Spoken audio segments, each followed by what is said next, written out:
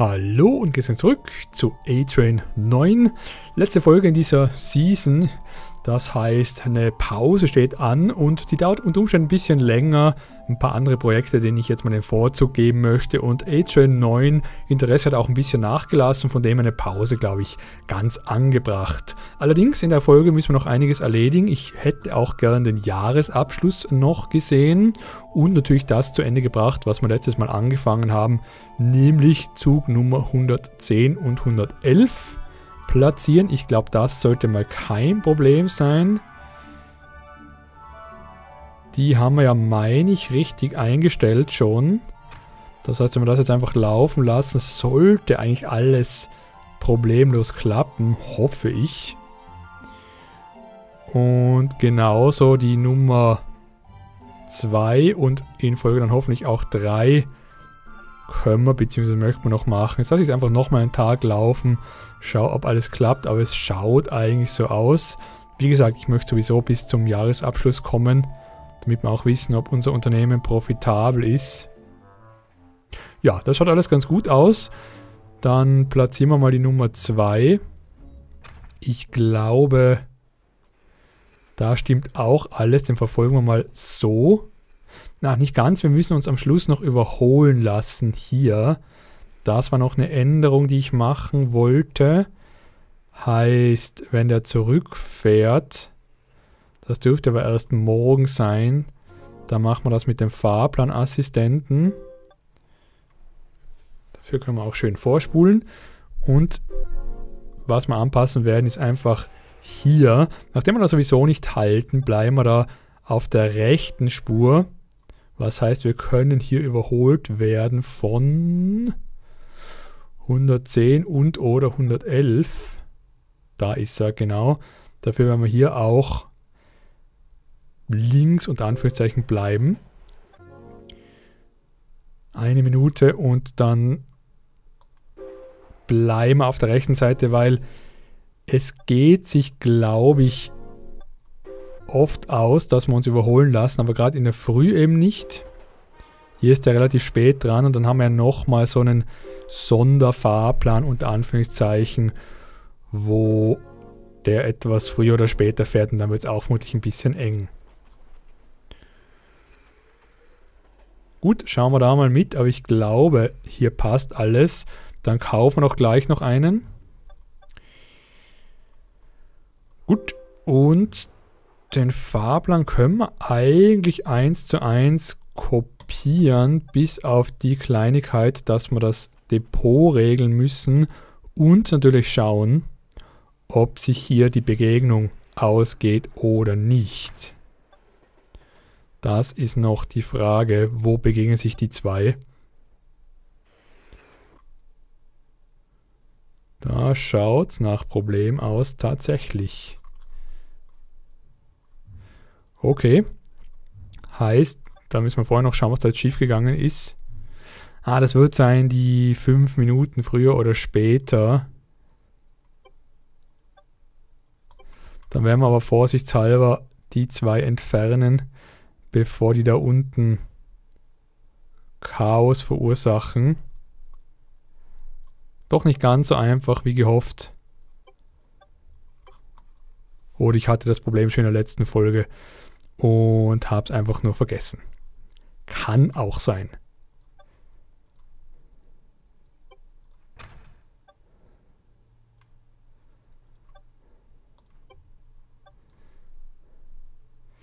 So.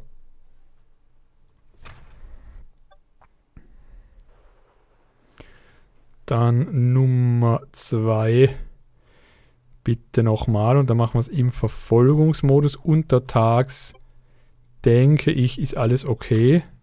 Trotzdem schauen wir es uns an.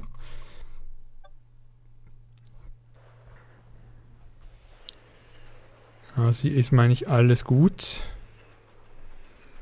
Wo könnte da knapp werden? Ja, wenn der vielleicht fünf Minuten früher fährt, könnte es knapp werden. Hier Überholmanöver, das klappt.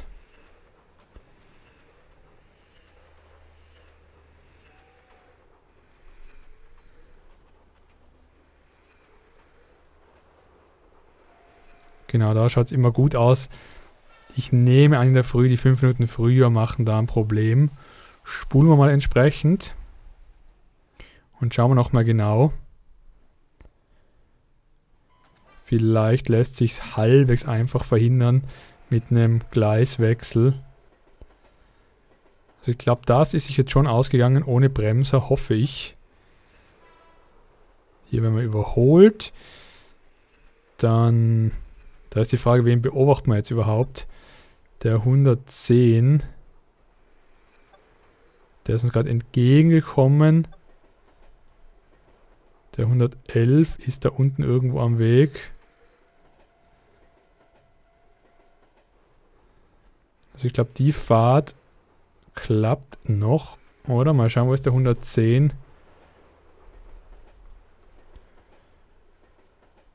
Der ist gerade da drüben. Da ist alles noch gut.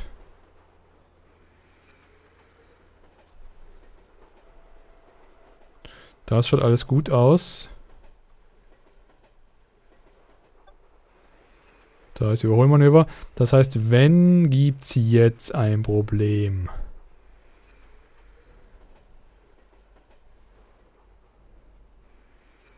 Also hier mal noch nicht. Der 111 ist gerade am Kartenrand.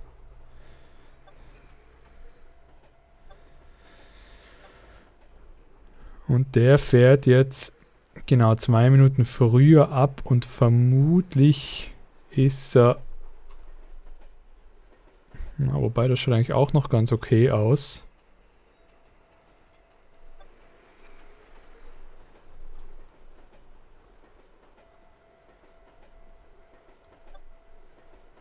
Hm. Jetzt bin ich gerade nicht ganz sicher, woher das Problem gekommen ist.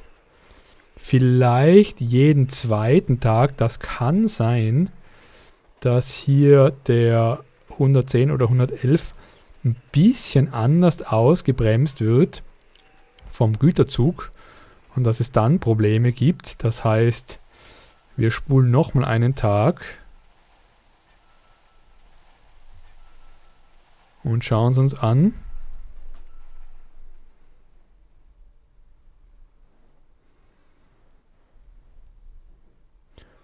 Das sollte alles passen. Genau, die Begegnung war okay.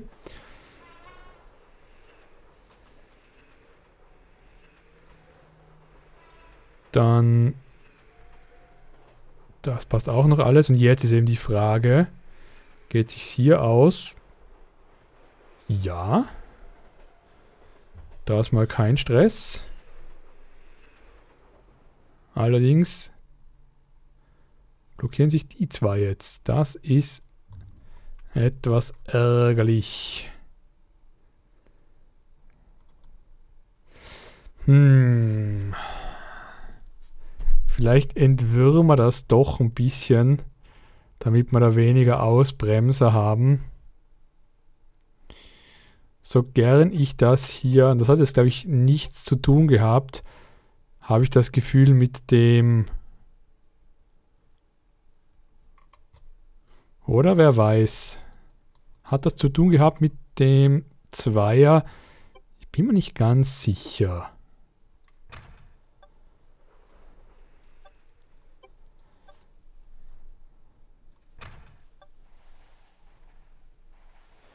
Also wenn ich hier die problematische Stelle.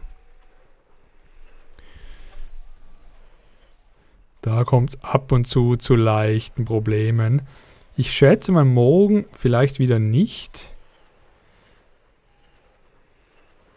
Aber wir schauen trotzdem mal. Weihnachten ist ja erst am 25. Da haben wir noch einen Tag Zeit. Uh, jetzt schneit's. Sehe gar nichts. So, jetzt schauen wir ganz genau, ob sich hier irgendwas blockiert. Und zwar anhand vom Zweier.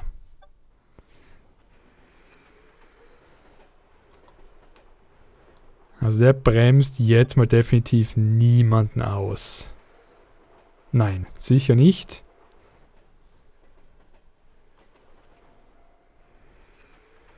Und auch hier wird er überholt. Und auf der Rückfahrt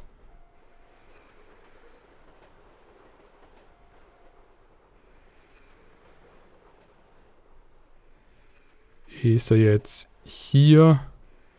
Bremst auch niemanden aus. Hier auch nicht. Die haben sich jetzt fast verfehlt. Und jetzt kommt eben, glaube ich, vielleicht einer von den zwei zu spät retour. Und dann gibt es Probleme. Da kommt der Güterzug.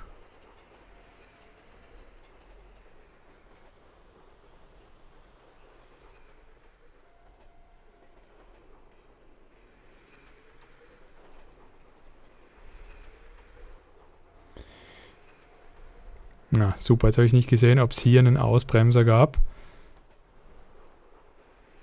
Zu schnell drüber gespult.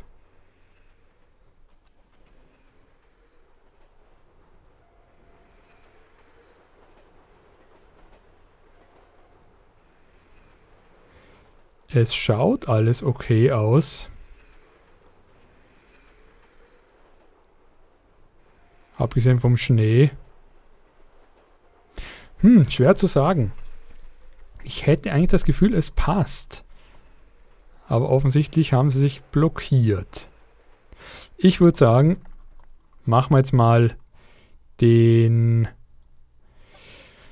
den Dreier, dass ich es rausbekomme. Und soll es dann nochmal mehr Probleme geben, dann kann ich das immer noch umbauen. Äh, Habe ich da schon Fahrplan kopiert?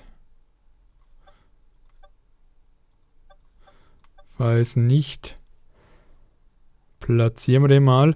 Und da müssen wir jetzt eben schauen, Thema mögliche Begegnung dürfte wohl hier irgendwo sein.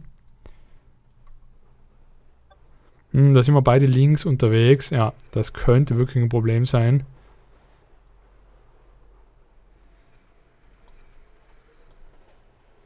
Mal schauen. Ja, das wird knapp. Der hält hier nur eine Minute. Ich glaube, das geht sich nicht aus. Nein, das geht sich nicht aus. Die blockieren sich hier. Dann ist die Frage, wisst ihr was, ich spendiere jetzt einfach ein eigenes Gleis. Fühlt sich schon fast an wie, wie Cheaten.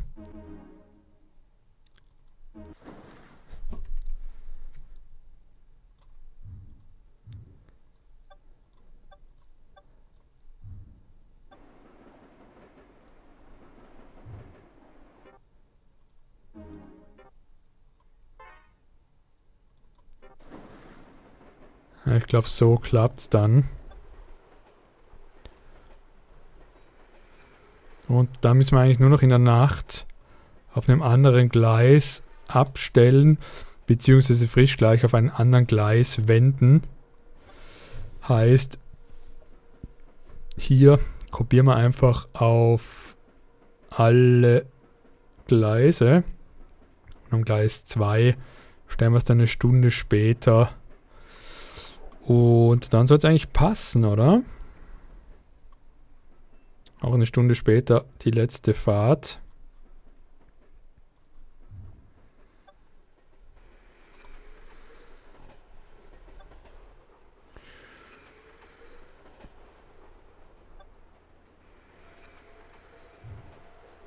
Also genau verkehrt herum. Hier habe ich es jetzt richtig gemacht, oder? Zug Nummer 3, genau. Ja, dann hoffen wir, dass das klappt. Bin hier noch ein bisschen unsicher, das müssen wir eventuell umbauen, falls wir da jetzt öfter Probleme haben. Aber sonst denke ich, ist okay.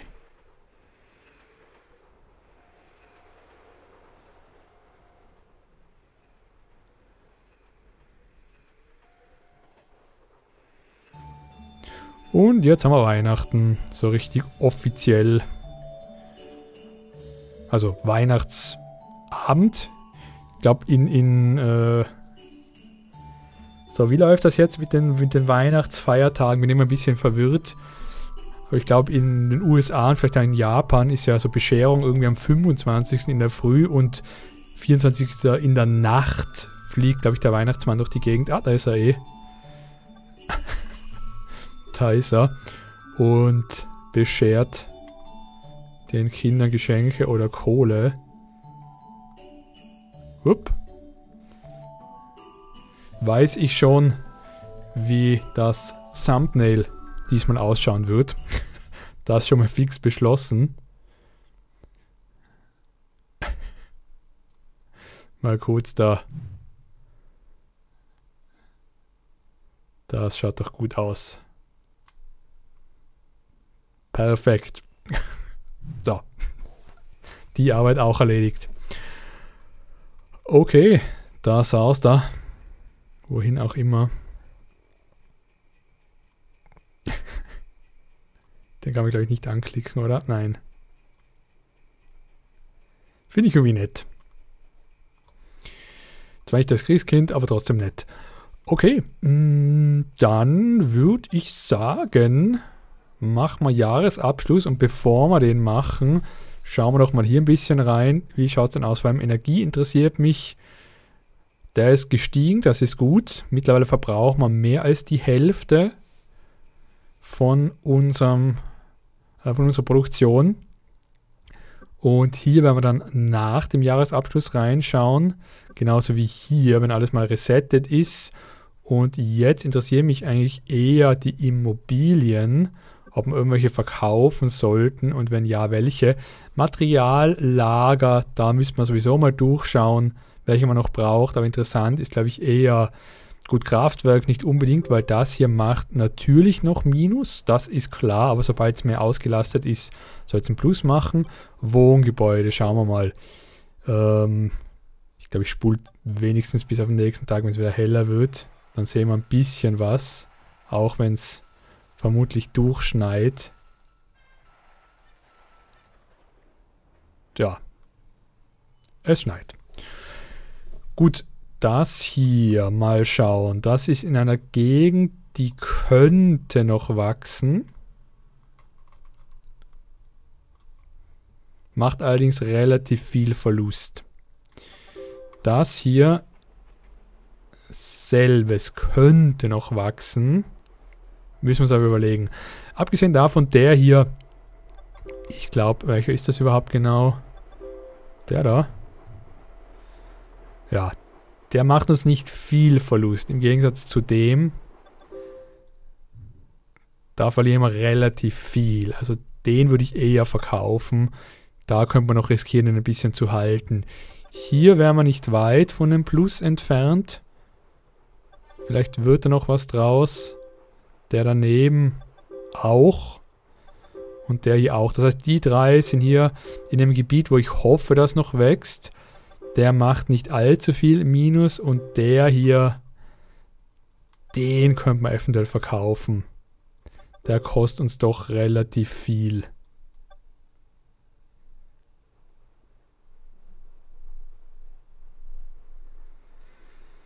Machen wir einen Verlust, wenn wir den verkaufen, aber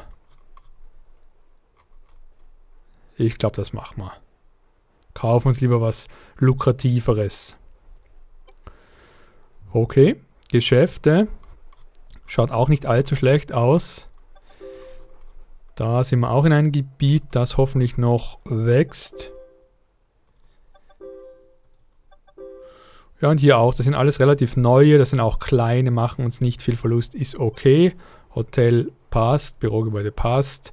Und die Rendite ist zum Teil sehr gering. Ist natürlich in Frage zu stellen mit Umsatzsteuer und so weiter und so fort beziehungsweise weiß ich gar nicht, ob die da reingerechnet ist, aber ja, Vermögensteuer und so weiter. Kann schon sein, dass das auch ein Verlust bedeutet, aber es ist mal nicht ein deutliches Minus.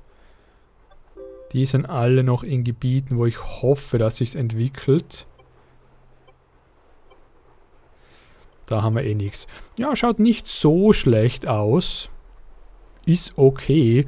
Wir können jetzt natürlich noch ein paar Aktien kaufen. Ähm, eventuell ist auch gerade die richtige Zeit, schaut nicht so aus. und die da übers Jahr hinweg retten, ist auch immer eine gute Methode, glaube ich, ein paar Steuern zu sparen, wenn es mich nicht ganz täuscht. Aber sonst denke ich, wäre das eigentlich okay. Die Züge, sollen wir da auch mal ein bisschen durchschauen? Könnte man machen, speziell die Güterzüge. Der ein oder andere fährt da sicher die ganze Zeit voll. Und da sind vermutlich auch die Lager voll. Also gerade hier, wobei da zum Teil nicht sehr dicht bebaut ist, eventuell würde es sich hier lohnen, einfach noch selber ein paar Immobilien zu bauen. Das wäre vielleicht nicht verkehrt. Da würde ich aber vorher fast doch Aktienhandel betreiben, beziehungsweise mal schauen, was wird uns das überhaupt kosten. Ähm, wo war das nochmal? Firmengebäude farbig darstellen. Da sehen wir mal, was uns gehört. Ja, doch einiges hier. Und wenn wir jetzt sagen, gut, das Ding hier gefällt mir eigentlich, das macht auch ja, mehr als guten Gewinn. Das schaut eigentlich nicht schlecht aus. Hier der Jahressaldo ist super. Vielleicht wollen wir dann noch eins von dem Format. Was würde das bedeuten? Das war... Mal schauen. Nein. Eins von denen da. Genau so eins. Sprich vergleichbar mit dem. Das würde uns kosten, ja, 18, 19 Milliarden, weil das Grundstück sehr, sehr teuer ist.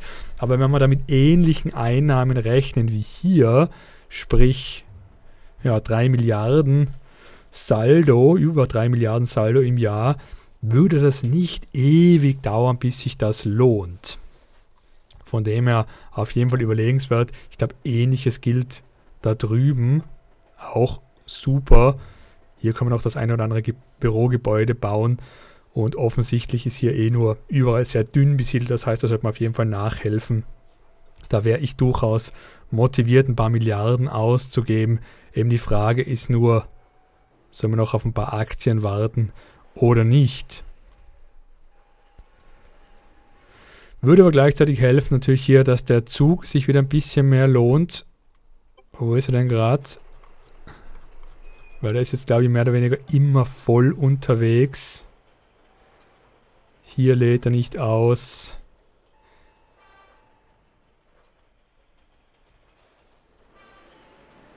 Und hier hat er auch nichts zum Ausladen.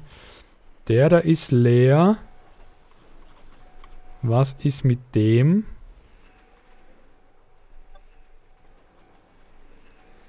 Bin ich gar nicht sicher, wohin der fährt.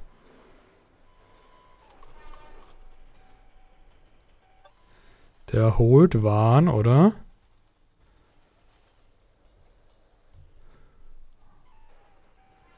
Und liefert die dann in der Stadtmitte auch ab. Na gut, ein paar ist er losgeworden. Das heißt, das ist noch okay, dass der auf dem Kartenrand rausfährt und Waren holt. Wir könnten eventuell den Fahrplan ein bisschen zurücktrimmen und sagen, gut, wenn wir Geld sparen wollen, dann fahren wir einfach nicht mehr täglich, sondern wir lassen zwei Tage aus oder drei. Dann soll es ein bisschen was sparen. Und eben der 190. Der glaube ich der würde sich durchaus freuen, wenn wir da ab und zu ein paar freie Lager noch hätten. Hier, glaube ich, schaut es auch ganz gut aus. Ja, da kommt es noch. Aber da könnte man auch dazu bauen. Ich glaube, das wäre ein guter Start für die nächste Season. Und hier haben wir jetzt wieder die, die Blockade. Gerade in dem Moment entdeckt. Okay. Gut, bin mir nicht sicher, wer hier jetzt schuld dran ist. Ich würde sagen, da quälen wir uns jetzt nicht mehr lange. Das repariere ich ähm, zwischen den Seasons. Ich glaube, was wir allerdings schon machen könnten, ist die zwei hier weiterfahren lassen und den hier, den platziere ich Wie rum ist er jetzt gestanden? Gute Frage.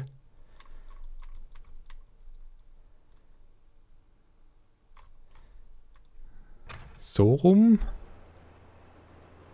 Ich hoffe.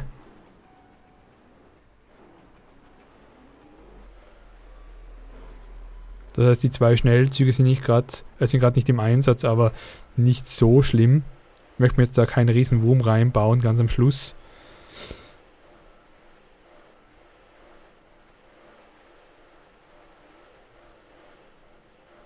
Ja, nachdem der Güterzug jetzt gerade kollidiert ist erst, heißt das, das kann eigentlich nur vor längstens zwei Tagen passiert sein.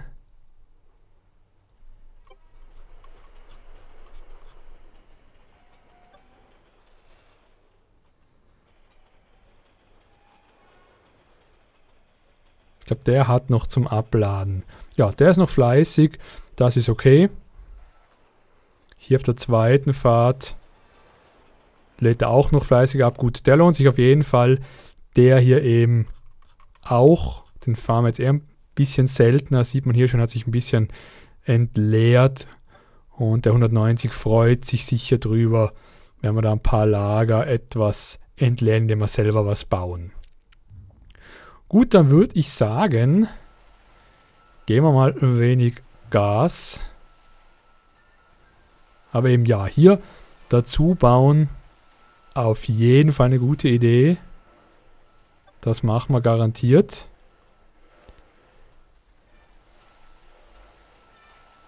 Da ist noch super viel frei. Also hier ist, das bezeichne ich jetzt als frei, wo nur so kleine Wohnungen stehen. Äh, mich interessiert jetzt eben der Jahresabschluss und ich glaube, das hat nicht ganz geklappt hier, das Reparieren. Das sollte aber relativ schnell gehen.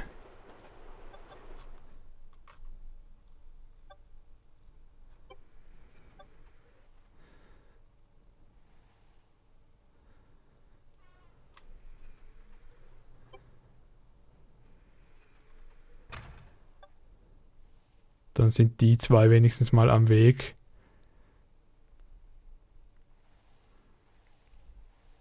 Kann sein, dass die vielleicht über den Güterzug blockieren. Nein, die fahren ganz woanders.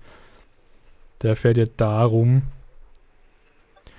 Kann auch sein, dass es so wirklich Timing-Frage ist von Millisekunden quasi. Und wenn wir jetzt auf super schnell vorspulen, kommt das Timing ein bisschen durcheinander und dann klappt es einfach manchmal nicht. Das kann durchaus sein. Aber was ich auch noch schauen wollte, ist eben, wie es den Zügen an sich geht, neben den Güterzügen. Was haben wir denn hier? Vielleicht ein guter Moment, einfach kurz vor Mitternacht da mal durchzuschauen. Da schaut es sehr gut aus. Die haben gut verdient. Die auch, die glaube ich sind alle relativ stark ausgelastet. Hier sehe ich auch überall ein Plus, zum Teil nur ein bisschen, aber immerhin. Da schaut es auch super aus. Super, super, sehr gut. Knapp, aber doch. Auch gut. Auch gut, auch gut, auch gut. Ja, eigentlich nur jetzt die zwei neuen, aber das ist klar, hier ist noch nicht viel los. Und der 110 und 111, den haben wir für den Moment verbannt. Die machen auch noch keinen Gewinn oder würden keinen Gewinn machen.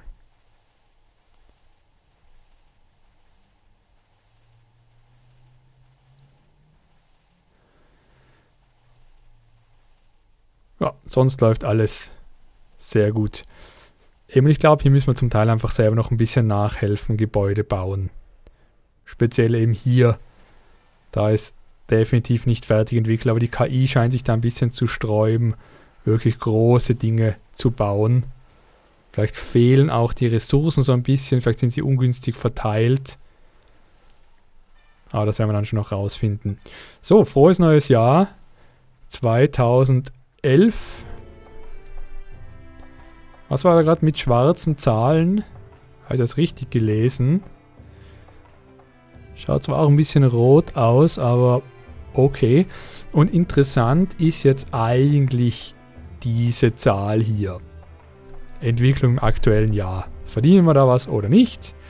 Das ist mal interessant zu wissen. Und was auch interessant zu wissen ist, ist das hier. Wir müssen ja gut 24 Milliarden an Steuern zahlen. Und zwar jetzt unabhängig von. Ah, Moment, das ist die Umsatzsteuer, die Körperschaftssteuerschuld, die kommt ja erst je nach Jahresumsatz. Wisst ihr was? Ich spule mal vor noch einen halben Monat und dann schauen wir uns die Zahlen ein bisschen genauer an. Okay, ein halber Monat ist vorbei. Das ist, glaube ich, halbwegs guter Zeitpunkt, um mal zu schauen, halbwegs repräsentativ für ein ganzen Jahr oder repräsentativ genug. Dann schauen wir die Zahlen mal ein bisschen an. Die Entwicklung im aktuellen Jahr, die bezieht sich ja auch auf die Konjunktur, das habe ich ganz vergessen. Das heißt, das ändert ja den Wert an vor allem unseren äh, Tochtergesellschaften. Also sprich hier, wenn die Konjunktur unten ist oder oben ist, je nachdem oder steigt oder sinkt, ändert sich auch der Wert der Tochtergesellschaften, somit ändert sich dieser Wert, somit ändert sich die Entwicklung im aktuellen Jahr. Interessant ist aber meiner Meinung nach einfach das Gesamtergebnis. Da haben wir jetzt zweieinhalb Milliarden in etwa Plus gemacht in einem halben Monat, das heißt pro Monat ungefähr 5 Milliarden und in einem Jahr somit ungefähr 60 Milliarden. Und von dem müssen wir die Steuern zahlen. Und bei aktueller Entwicklung müssen wir im Monat auch jetzt aufgerundet zweieinhalb Milliarden Steuern zahlen für unseren Umsatz und somit im Jahr 30 Milliarden. Also die Hälfte von unseren Einnahmen, von unserem, besser gesagt vom Gesamtergebnis, nicht von den Einnahmen, sondern von dem, was uns übrig bleibt, geht für die Umsatzsteuer drauf. Das heißt, uns bleiben nochmal 30 Milliarden übrig und von dem müssen wir dann die Vermögensteuer zahlen, heißt, wir machen 9 Milliarden äh, Profit und von dem wiederum zahlen wir dann 10% an der Körperschaftssteuerschuld pro Jahr. Ich hoffe, ich habe die Rechnung richtig. Das heißt, im Moment verdienen wir 8 Milliarden im Jahr. Nicht viel, aber wir machen Plus und wir haben auch einige Immobilien, die im Wert noch steigen werden. Wir haben vor allem, darf man nicht vergessen, ein Kraftwerk, was uns im Moment sehr viel kostet, aber im Laufe der Zeit uns mehr bringen wird. Da reden wir ja auch wirklich von Milliarden. Das war eine große Investition. Wir können auch mal kurz schauen. Beim Immobilienverkauf sollte man es relativ schnell finden. Hier, genau. Das ist jetzt eh schon ein bisschen gestiegen, nur mehr minus 10%. Und eben das hat durchaus Potenzial, dass man hier äh, wesentlich weniger Verlust damit machen. Also da reden wir mitunter vielleicht auch von ja jetzt nicht unbedingt Milliarden, die man da verdienen. Wobei, ich sage mal, in einem halben Monat haben wir hier jetzt ja, gute 100 Millionen verloren. Das heißt, ja, 200 Millionen im Monat. Also da geht es dann schon langsam Richtung Milliardenverluste, die man dann eher sogar in einen Gewinn drehen würden pro Jahr. Also ja, würde doch das Ergebnis wesentlich steigern. Und die Rentabilität der Windkraftwerke soll, glaube ich, auch steigen dann mit höherem Energieverbrauch. Das heißt, wir sind eigentlich gut unterwegs. Ich behaupte mal, wenn ich mich jetzt nirgends verrechnet habe, falls wir das Ganze laufen lassen würden, ja, würden wir einfach laufend Geld machen. Natürlich darf man nicht vergessen, der Wert der Tochtergesellschaften steigt. Das heißt, mitunter müssen wir dann auch natürlich mehr Steuern zahlen fürs Vermögen, aber das sollte sich ausgleichen durch die gesteigerten Einnahmen. Und da kann man hier vielleicht auch nochmal reinschauen, da sehen wir es, glaube ich, am schönsten. Die Tochtergesellschaften sind ja in den roten Zahlen gewesen, äh, aber leicht gestiegen. Jetzt sind wir wieder quasi bei Null. Und auch wenn es jetzt hier zu schwer zu sehen ist, es sollte eben ähm, ja, schwarze Zahlen schreiben und auch steigen, weil wir auch nichts ausgegeben haben jetzt für die Tochtergesellschaften, nichts gekauft. Das Einzige, was vermutlich weiterhin Minus macht, na nicht mal, dachte die Materiallager machen Minus, sogar da haben wir ganz wenig verdient dieses Jahr, eigentlich nur Lkw-Betrieb und minimal der Busbetrieb, der uns Geld kostet. Alles andere macht eigentlich ein Plus, wo ich jetzt gerade sehr positiv überrascht bin. Okay, heißt, ich denke, das ist ein guter Weg. Wir werden, wenn wir wieder anfangen, spielen, definitiv ein bisschen hier an Immobilien kaufen oder bauen. Und da müssen wir natürlich noch alles Mögliche hier erweitern und besiedeln. Aber da lassen wir uns jetzt mal ein bisschen Zeit. Aber ich denke, es wird sich durchaus lohnen, an dem Spielstand dann weiterzuspielen und nicht was Neues zu starten. Es sei denn, es gibt irgendwelche genialen neuen Updates oder vielleicht mal ein A-Train 10. Das wäre natürlich auch eine tolle Sache. Aber da habe ich im Moment noch nicht allzu viel Hoffnung. Gut, dann wünsche ich alles Liebe, alles Gute. Bis zum nächsten Mal. Tschüss, ciao, vielen Dank und Baba.